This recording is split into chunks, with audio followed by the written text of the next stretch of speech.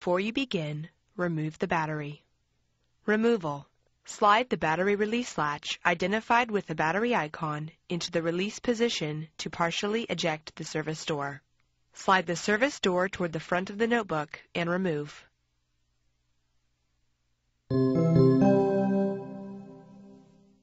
Replacement. Align and place the service door into position on the base enclosure. Slide the service door toward the rear of the notebook until it is properly seated and the battery release latch clicks.